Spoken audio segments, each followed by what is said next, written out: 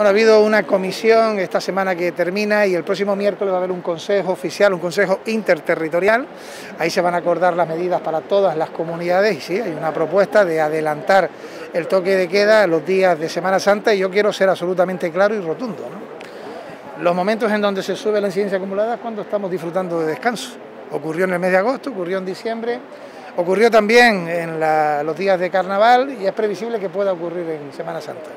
Por tanto, podemos arriesgar por intentar adelantar algo que no podemos, que es esparcimiento, pasar muchas horas con amigos, lo que se ha logrado hasta ahora. Y por tanto, nosotros apostaremos por restricciones duras para esta Semana Santa, creo que debe entenderse, lo que queremos es recuperar cuanto antes, y cuanto antes significa máxima vacunación, llegar al verano bien, llegar a la temporada alta bien y tener mayor seguridad en la salud de las personas eh, con procedimientos que no podemos poner en riesgo porque queramos adelantar noches de ocio, de divertimento y demás.